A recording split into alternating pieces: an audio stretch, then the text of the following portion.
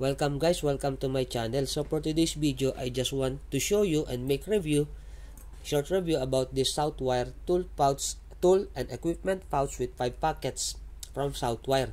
So I have bought this online on a very reasonable price. That's why I have afford or I have afford to to both three pieces. So they are of the same model. So I will remove the two pieces and we are going to make review on this Southwire tool pouch. So this is made of fine leather, good leather as I have seen. This is a good uh, leather with brown in color, I think. And then this is made from India and the rivets are properly and properly fixed. So I think this is a durable and good tool pouch from Southwire. So this is about 9 inches in length with 4.25 in width and about 3 inches in height. So from this one. So this is only uh, as what I, I have seen this is 9 inches 4.25 and about 3 inches in length. So we will try to put some of uh, hand tools on our tool pouch so we will see how many tools this one can carry. So this is for only small jobs but I think this is not a little bit small. So this is uh, about the about in the middle size.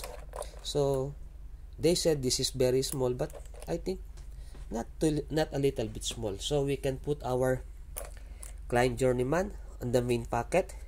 So this is 5 pocket. 1 2 3 4 and 5 and then we can put our wire stripper Klein 1009 here. So we have already uh, put two pieces hand tools.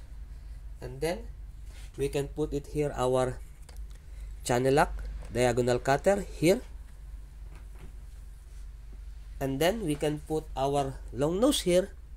So how many already hand tools that we have uh, put on our tool pouch? One two three four. And then we can put our flat screwdriver here in this area.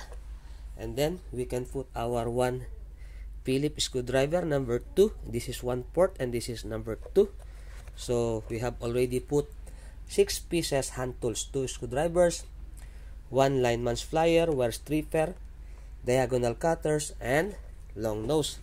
And then on our electrical tape tong so we can put our electrical tape here.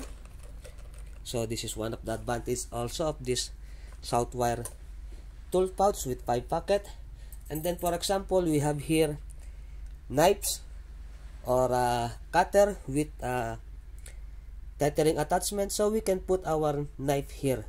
Or we can put a keychain here so that it will not be misplaced.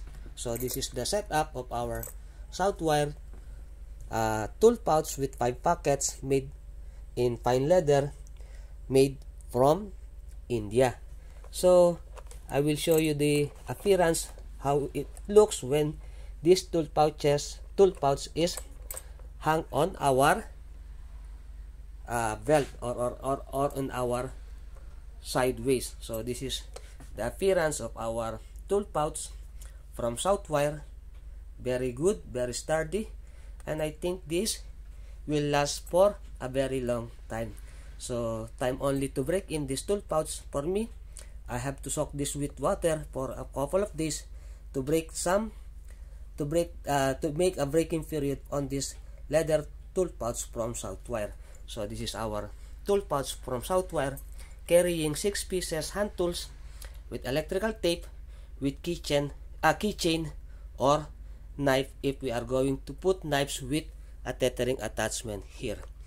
So guys, what do you think about this Southwire tool pouch? So for me this is uh, good for small jobs. So we can carry six pieces hand tools and very comfortable. Not so big not so small. So for me it is in the middle uh, size only. So I am very excited to use this tool pouch from Southwire. So guys thank you for watching. See you on the next video and God bless you all If you have any comments or suggestion regarding this tool pouch, please write down below. See you guys and thank you for watching this video.